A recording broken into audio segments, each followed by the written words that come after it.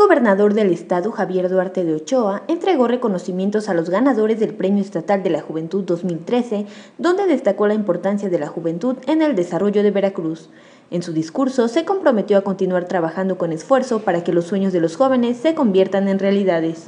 De lo que se trata es que todos los jóvenes puedan contar con suficientes herramientas que impulsen su competitividad y los preparen para que encuentren un buen empleo y sean también ciudadanos plenos.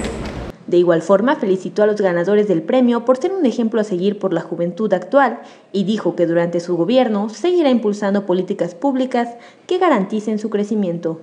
El Premio Estatal de la Juventud 2013 es un reconocimiento público a quienes se destacan por su trayectoria y expresión juvenil.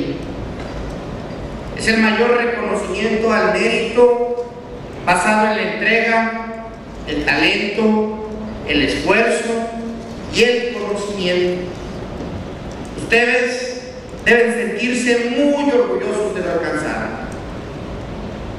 Ustedes ganadores del premio son un ejemplo a seguir y merecen el justo reconocimiento de toda nuestra sociedad. Los jóvenes premiados fueron Rafael Tejeda García por logro académico, el equipo de robótica programada del Instituto Tecnológico de Poza Rica por ingenio emprendedor, Neftalí de Jesús Cruz por ciencia y tecnología, Miguel Ángel Vázquez por expresiones artísticas y culturales, entre otros.